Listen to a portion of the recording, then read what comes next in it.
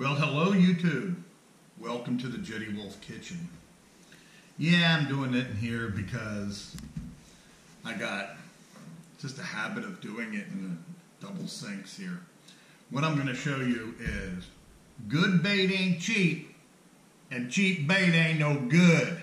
I wanna go fishing Cause it takes my stress away I wanna go fishing My blues away. I wanna go fishing. I don't want to watch the clock. I wanna go fishing. I don't ever wanna stop. Now, what I got here is I got shrimp. This is what we use for bait. We don't use no squid, we don't use no uh, crickets, or worms, or rubber worms, or anything like that. I don't. This is a big shrimp. This is sort of a jumbo shrimp. And what I do is I kind of, before charter, especially this time of year, I kind of like to pre-package my shrimp. A lot of people know that have fished with me over the years and have been following my YouTube channel know that I love me some dead shrimp. It catches everything, all right?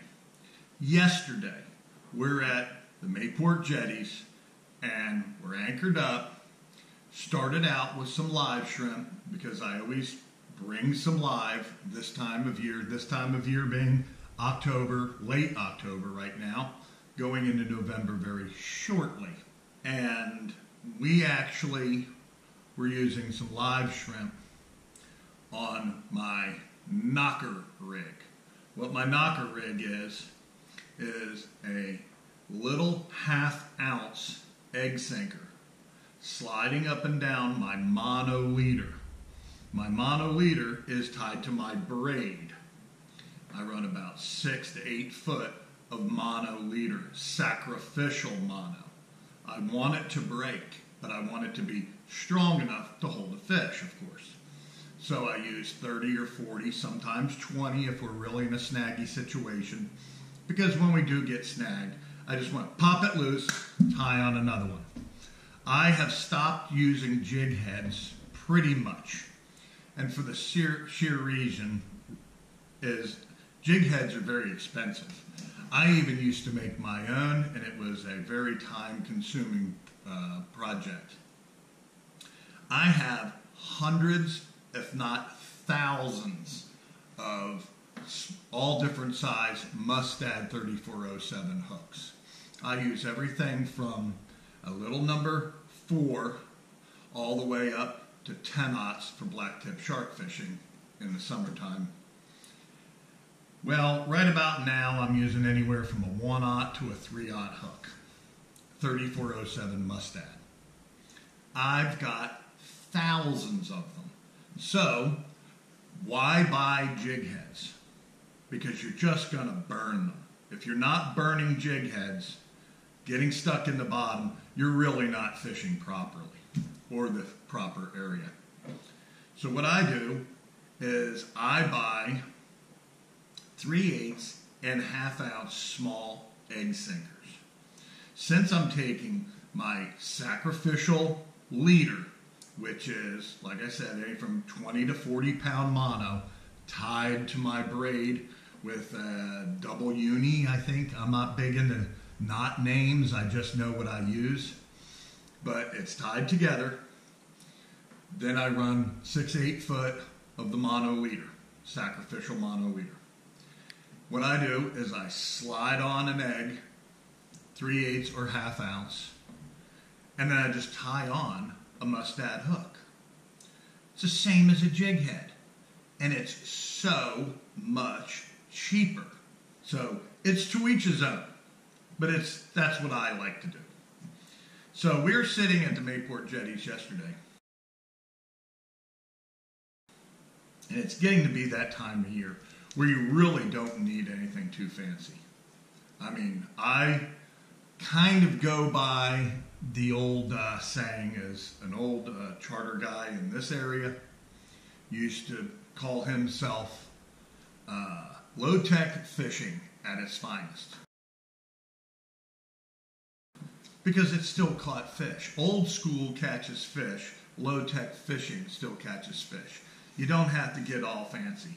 I laugh and laugh when I see people using jig heads with paint and those black nickel expensive hooks and eyeballs on them just to throw a shrimp on it.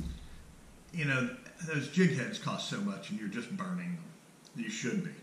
So we were sitting at the Mayport jetties yesterday and I was anchored in the rocks, came back off the rocks a little bit, and we were just pitching live shrimp hooked up on my little half ounce knocker rig. And how I hook them on, and I'm I have separate videos about this, but I'll just kind of briefly tell you. If this was the shrimp's head and the tail's here, I take the hook, and my customers yesterday, very experienced fishermen, one that's you know fished here before. I mean, he's from this area. Still, he never even heard of this or seen it before. So you take your hook on a just a knocker rig or a jig head, and I go from its tail, I go up a couple digits, and I go straight through from the top to the bottom, and then I turn the jig head around and I go into the little walking legs on the shrimp. He'll be in the shape of a C with the hook going through the tail twice. The fish only are interested in this meat. They go through the head just because it's there. They're interested in the meat. So, I'm going to even show you what I'm going to do with these giant shrimp. And we were taking live shrimp, and then we kind of used up our live shrimp, and we were using headed, which is what I'm going to show you here, headed, just dead shrimp. And we were catching one big redfish after another. Okay? And it was balls to the wall for, for quite a while, for several hours. And we picked up some speckled sea trout, jacks. I caught uh, a couple whiting. I took a little whiting, like that big, threw him out on the same knocker rig. And of course, when you use something like that, you're going to pick up a black tip. We caught a redfish that got attacked and his tail got bit by a shark. So these fish are hungry this time of year. They're out spawning and they're doing extraneous, you know, activities during the evenings. Oh boy, I'll tell you, first thing in the morning, they're almighty hungry. But what I'm going to go with here is that motto of good bait ain't cheap and cheap bait ain't no good.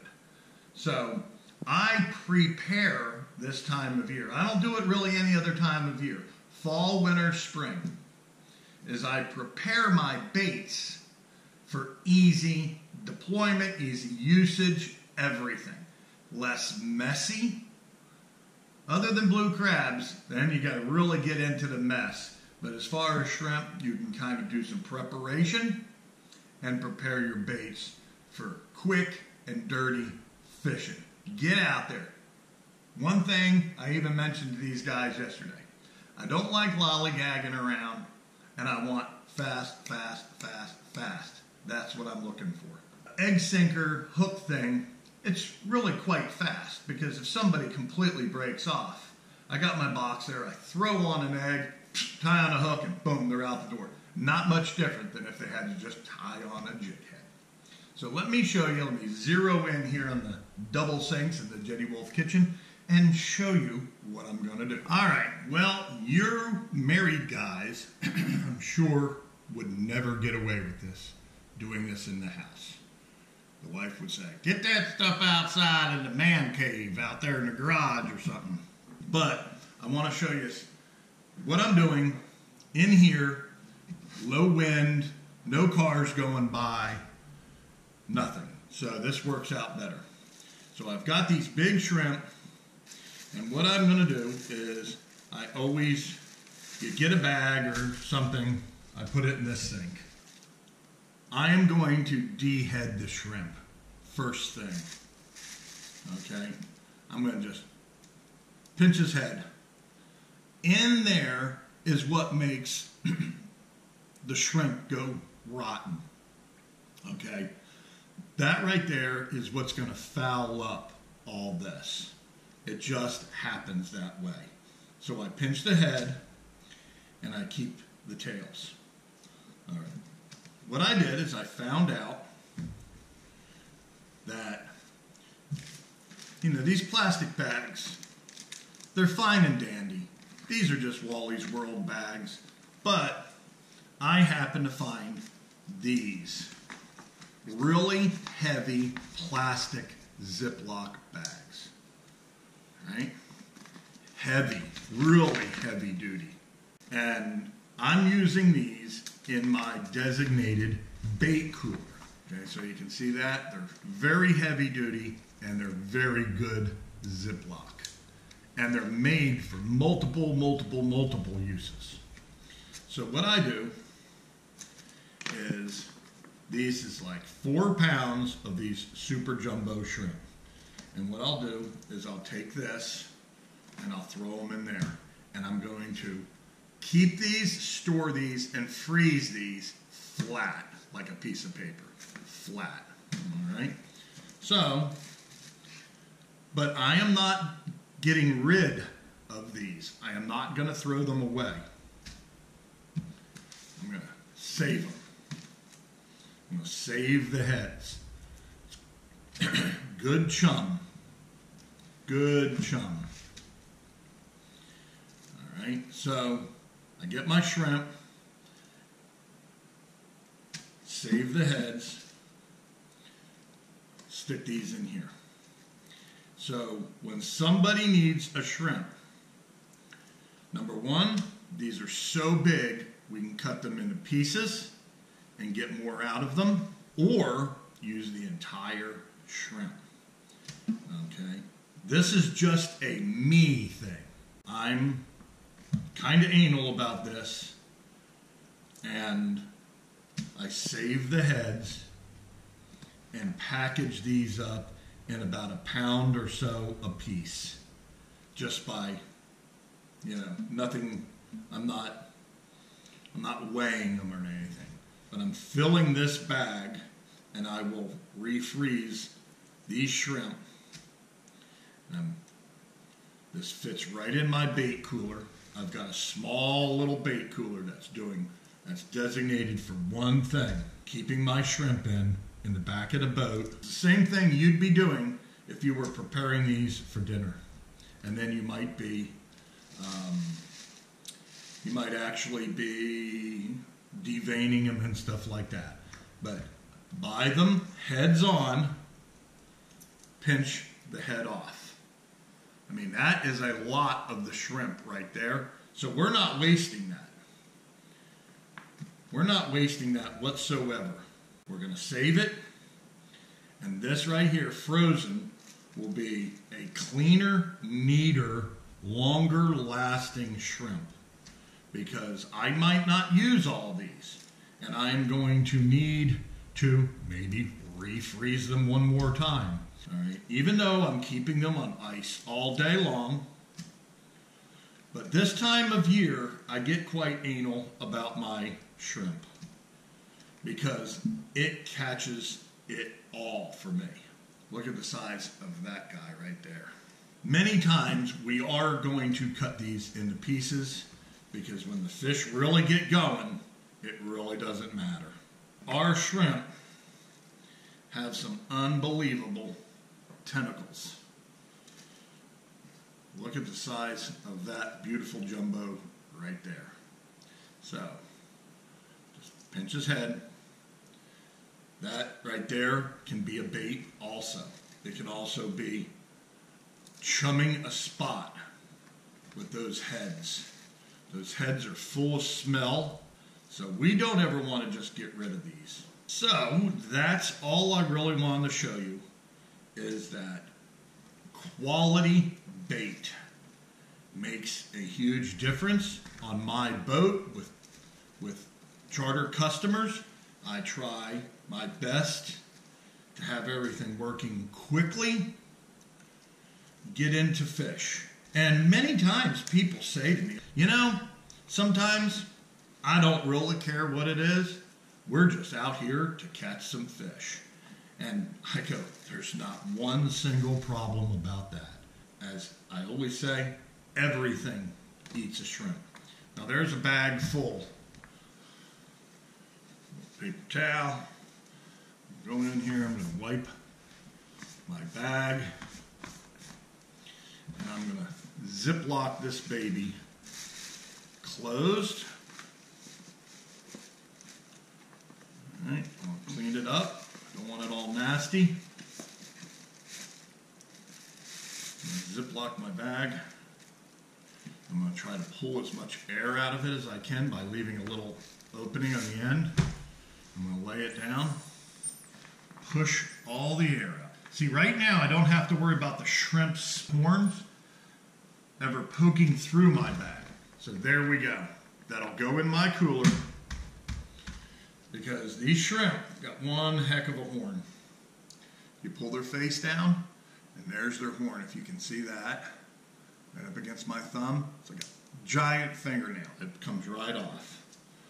And when I get rid of those, I don't have to worry about the horns poking through this bag, even if they did, or maybe they won't because this bag is so durable.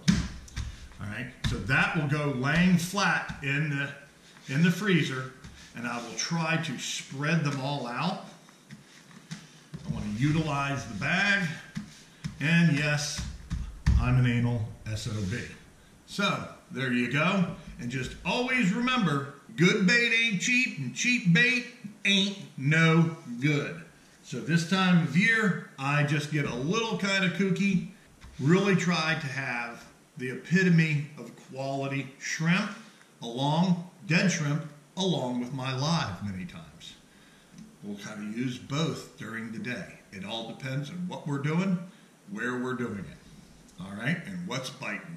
So thanks for watching, and I'll see you on the next edition.